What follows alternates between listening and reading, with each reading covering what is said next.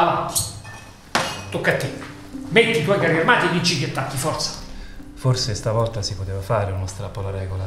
Sto male. Mi viene da piangere. A tutti viene da piangere. È per questo che giochiamo. Ogni carro armatino è una lacrima. Ma perché? In fin dei conti è sempre un modo per noi fratelli per stare un po' insieme, no? Vi ricordate? Eravamo sul divano in salotto. Tutti che piangevano, era tristissimo. A un certo punto Sandro sparisce e ricompare cinque minuti dopo salendo dalla cantina con la scatola del risico in mano. Ma che vi ridete? Vi comportate come se mamma non vi avesse mai detto nulla. Segreti da svelare. Per me il massimo dell'emozione è sapere se alla macchinetta del lavoro metteranno l'orzo o il decaffeinato. Poi ho provato a ingoiare un'intera scatola di pasticche. Ma un momento prima di perdere i sensi ho chiamato la guardia medica. Ma perché ci chiamiamo così poco?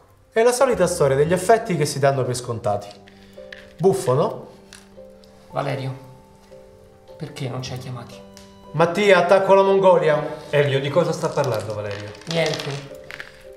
Forse qui qualcun altro qualcosa da dire ce l'ha. Posso sapere di cosa stai parlando? Non c'è niente da sapere, ho la situazione sotto controllo e con te dopo facciamo i conti. Mi spieghi perché non mi hai mai detto niente? Guarda che non sapevo niente, neanch'io. Sì, ma sono io quello ricco qui dentro. Voi e il vostro orgoglio del cazzo.